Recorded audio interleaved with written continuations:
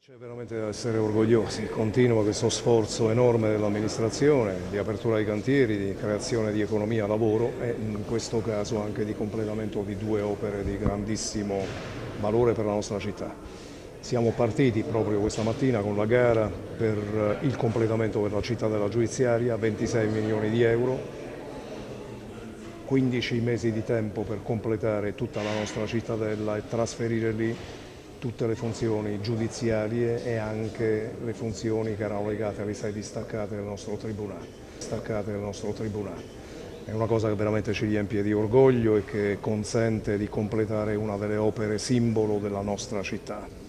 E poi la settimana prossima parte la gara di 10 milioni di euro per il completamento dell'Umberto I, della struttura che è di fronte al conservatorio. Lì realizziamo un auditorium di 350 posti interrato, un parcheggio di 40 posti auto, due sale congressuali, una piazza di 2000 metri quadri che affaccia sul centro storico della nostra città e in questo modo completiamo l'intervento che è cominciato con il convento del San Lorenzo e del San Nicola, credo che rifaremo anche la facciata del conservatorio faremo nascere lì veramente un polo culturale di grandissimo livello. Ecco Sindaco, si utilizzano fondi europei, finanziamenti del precedente, grossa difficoltà dell'economia, un modo anche per sbloccare le attività economiche sul territorio in una provincia che vive inevitabilmente grosse difficoltà.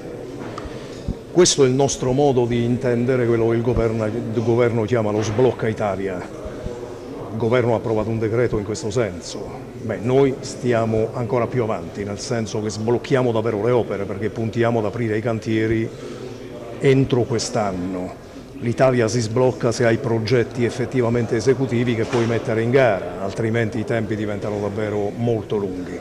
Per quello che riguarda noi, fra opere di piccola manutenzione, il programma che vi abbiamo illustrato qualche giorno fa per una quarantina di milioni, e queste grandi opere che completiamo, veramente noi teniamo in piedi l'economia della nostra città e del nostro territorio e vi prego di credere in un momento come questo è veramente un miracolo.